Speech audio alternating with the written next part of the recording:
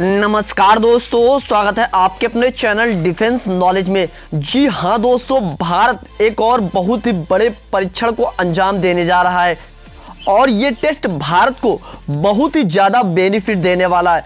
दूसरा दोस्तों, भारत के लिए ऐसे हथियार बहुत ही ज़्यादा ज़रूरी हो चुके हैं, क्योंकि दोस्तों, भारत को विश्व गुरु बनना है और भारत अगर विश्व गुरु बनेगा तो इन्हीं हथियारों की वजह से बनेगा, क्योंकि दोस्तों, ये बहुत ही ज़्यादा अहम रखते हैं भारत को सुपर पावर बनाने में।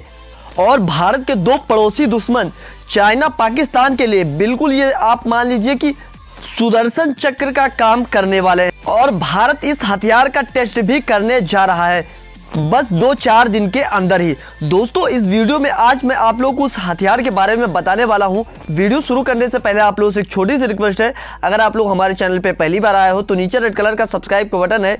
जाइए चैनल को सब्सक्राइब कर लीजिए और वेलाइकन पर प्रेस कर लेना, ताकि हमारी वीडियो आप तक सबसे पहले पहुँच सके। तो दोस्तों, बिना कुछ देर के वीडियो को करते स्टार्ट।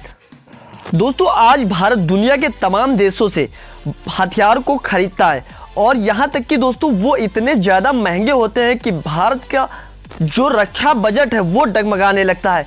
ऐसे में दोस्तों, भारत अब स्वदेशी रूप से एक ऐसे हथियार को डेवलप करके परीक्षण करने जा रहा है, जो कि वाकई में काफ़ी ज़्यादा अच्छा है। दोस्तों, इस हथियार का नाम है X R SAM missile defence system extended range surface to air missile defence system ऐसे में दोस्तों, यहाँ पे एक अलर्ट जारी किया गया है 380 किलोमीटर तक का अब्दुल कलाम आइलैंड पर, जो कि दोस्तों यहाँ पे काफ़ी लोग ये अंदाज़ा लगा रहे हैं कि यहाँ पे X R SAM missile defence system का परीक्षण होना है। ऐसे में दोस्तों ये माना भी जा सकता है X R SAM missile defence system का यहाँ पे परीक्षण हो सकता है। क्योंकि दोस्तों एक्सआर साम मिसाइल डिफेंस सिस्टम पे भारत काफ़ी दिन से काम कर रहा है और अब जाके ये काम कंप्लीट हो चुका है। और लगभग 90 परसेंट ये उम्मीद लगाई जाती है कि यहाँ पे एक्सआर साम मिसाइल डिफेंस सिस्टम का ही परीक्षण होना है। क्योंकि दोस्तों, आप लोगों को पता होगा कि भारत जो दूसरे देशों से मिसाइल डिफेंस सिस्टम खरीदता है, जैसे अभी हाल ही में रसिया से एस को भारत ने खरीदा है। ऐसे में दोस्तों, रसिया का जो एस है, काफ़ी ज़्यादा महँगा मिसाइल डिफेंस सिस्टम है। और भारत का जो XR SAM missile defence system बनके तैयार होगा वो काफ़ी ज़्यादा कम प्राइस में बनके तैयार होगा। यहाँ तक कि दोस्तों आप मान सकते हो कि रशिया के एक एस फोर हंड्रेड में भारत का जो एक्सआर सैम है, वो कम से कम चार बन सकते हैं। तो ऐसे में इस चीज़ का बिल्कुल आप अंदाज़ा लगा सकते हो कि भारत का जो XR SAM missile defence system है, वो काफ़ी ज़्यादा सस्ता होने वाला है। और दोस्तों, इसमें जो लगने वाली मिसाइलें हैं, उनकी रेंज 350 किलोमीटर तक है। वहीं पे रसिया के एस में लगने वाली मिसाइलों की रेंज चार सौ किलोमीटर तक है। तो भारत धीरे धीरे चार सौ किलोमीटर रेंज वाली मिसाइल भी इसमें फिट कर देगा। और दोस्तों, जिस दिन इसका सफलतापूर्वक परीक्षण हुआ और सेना में शामिल हो गया, यकीनन दोस्तों, चाइना पर भारत ऐप हासिल कर लेगा।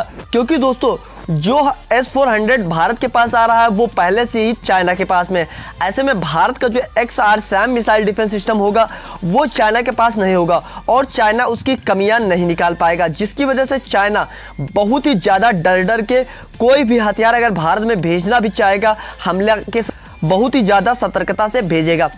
लेकिन दोस्तों, आप लोगों को X R SAM missile defence system को लेकर क्या लगता है? नीचे कमेंट्स बॉक्स में जाके कमेंट्स कर दीजिए। वीडियो समाप्त करने से पहले आप लोगों से एक छोटी सी रिक्वेस्ट करना चाहूँगा। अगर आप लोग हमारे चैनल पे पहली बार आए हो तो नीचे रेड कलर का सब्सक्राइब का बटन है। जाइए चैनल को सब्सक्राइब कर लीजिए और बेलाइकन पर प्रेस कर लेना ताकि हमारी वीडियो अब तक सबसे पहले पहुँच सके। तो बिना कुछ देर के दोस्तों, करते हैं वीडियो को समाप्त। तो चलते हैं, मिलते हैं नेक्स्ट वीडियो में। जय हिंद, जय भारत।